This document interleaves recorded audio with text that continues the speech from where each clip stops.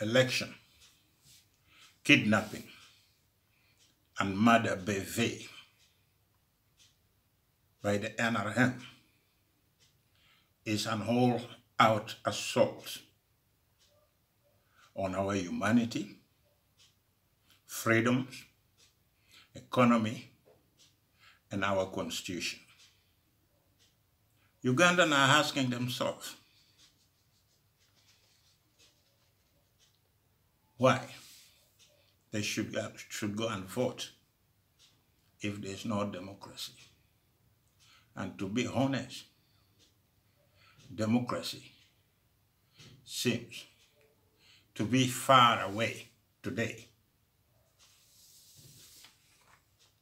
Leaders, politicians, who are supposed to be the servant of the people, to fight for our welfare and that of our family, are working for themselves.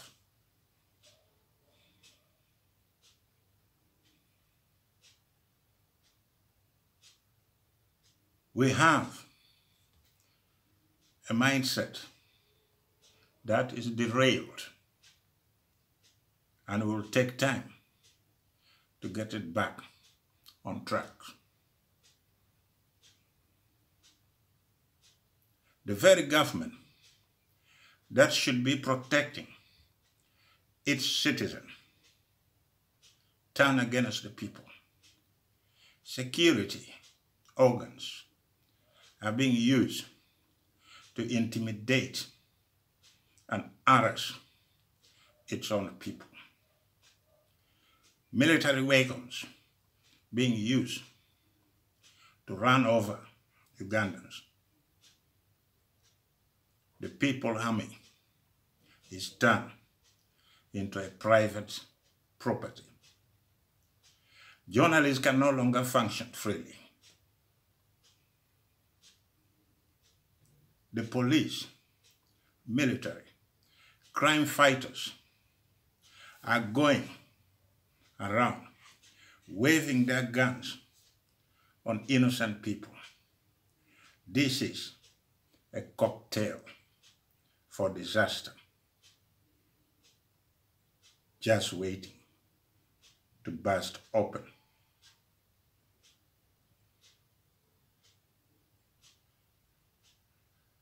Some lawyers are also deeply rooted in the same system. They are on the side of the state. Some are considered criminals because they work with the opposition. Those leaders, politicians, should be sharing democratic services with the people who put them in power. But most of them decided to be a part of the winning team. Tomorrow, the 14th of January, is a voting day. We need all Ugandans to get involved in the electoral system. Let your votes count. Some people think that revolution can only come through a barrel of a gun. But believe me, voting is as well important in the process of a revolution.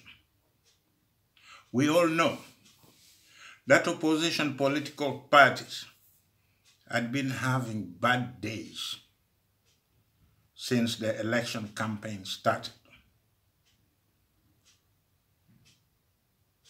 Their movement have been curtailed arbitrary arrest using military, police, local defense forces to intimidate opposition politicians. Electoral Commission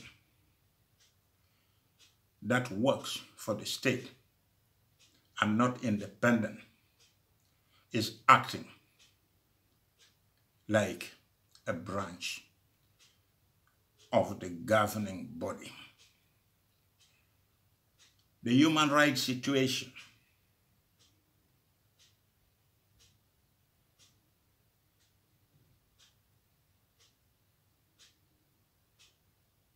ahead of the election is a matter of concern to those who love Uganda. Arrest of opposition supporters, kidnap, detention, and torture is the order of the day. We know that so far, more than 75 people had been killed. Bobby Wine and Patrick Oboi Amuriat had been arrested several times.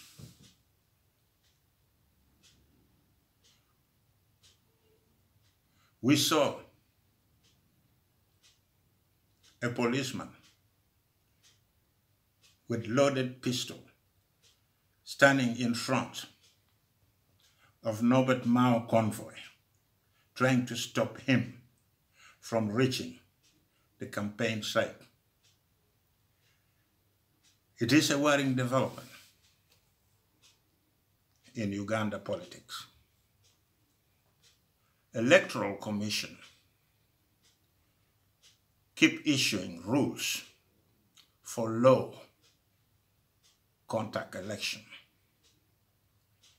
what they call scientific election, which prohibit mass rallies and provide for digital campaign,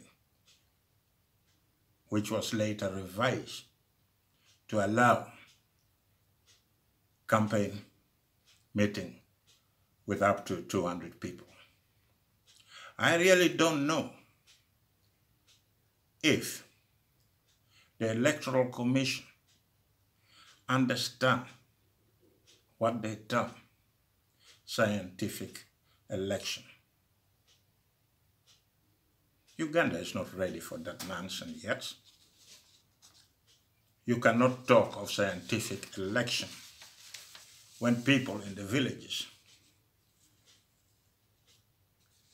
cannot even vote through that system. We have already seen worse political violence before election.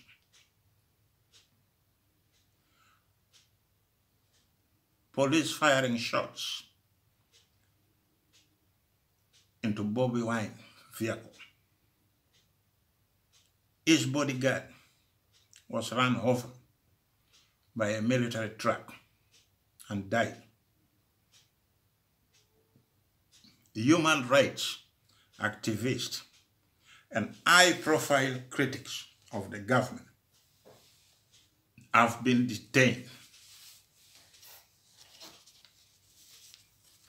have been detained.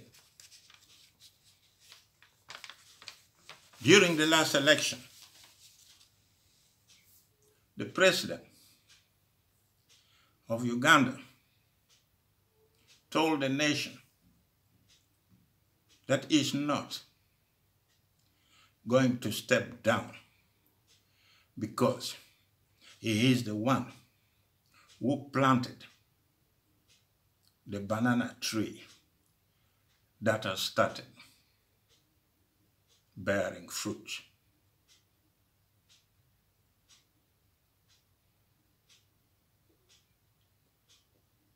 The 2021 election is just around the corner. We have already seen a lot of kidnap, abduction, and arrest of various presidential candidates. Police using pepper spray where it's not necessary. Heavily armed police, army officers, block Bobby Wine vehicle as he was leaving Kyambogo University cricket ground.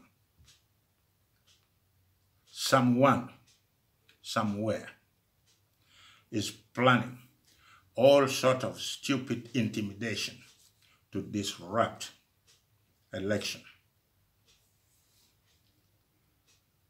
As we move closer to election day, we have seen increase in kidnapping, people disappearing without trace, people are being detained left and right. They are not talking about scientific election.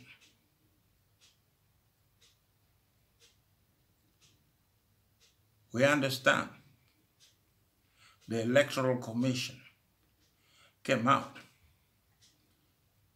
with special pen for the coming election.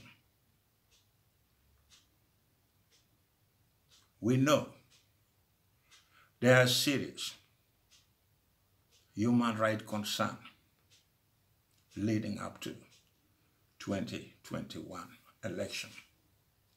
We are beginning to wonder whether the election is going to be fair and transparent. Since the beginning of the electoral campaign, cases of violence and arbitrary arrest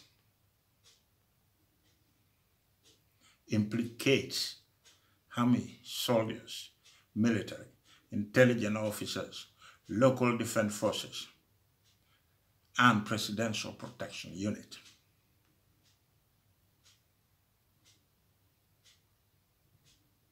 A boxing champion has gone missing, feared abducted by Uganda security. Police have neither denied nor accepted that they are holding him. With a day to go before the election,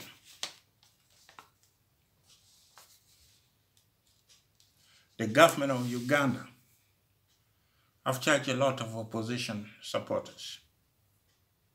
49 staff of presidential challenger Bobby Wine are being held and they claim that they were in a position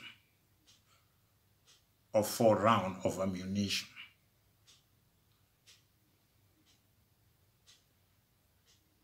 More than 100 people arrested.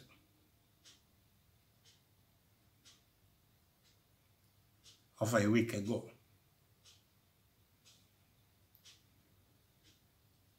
And they were charged with floating coronavirus restriction. Something does not add up. Not long ago, Uganda rights lawyer was arrested and they claim that is Bobby Wine supporter. He was charged with money laundering. Nicola Opiyo is being arrested for his connection with the opposition.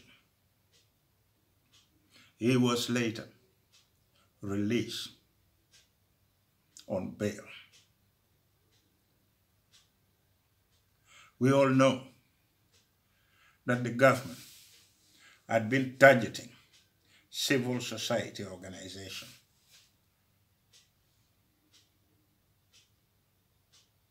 And the opposition candidates. As we go to vote on the 14th,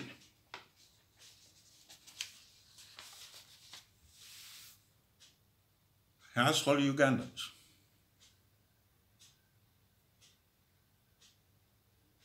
vote to divorce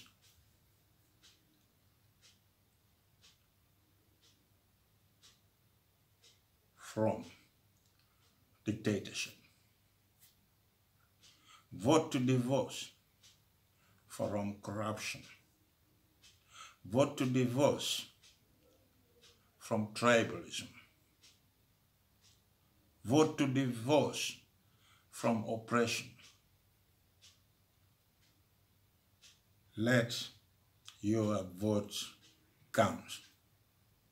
Thank you for listening. And don't forget to subscribe. I will be back.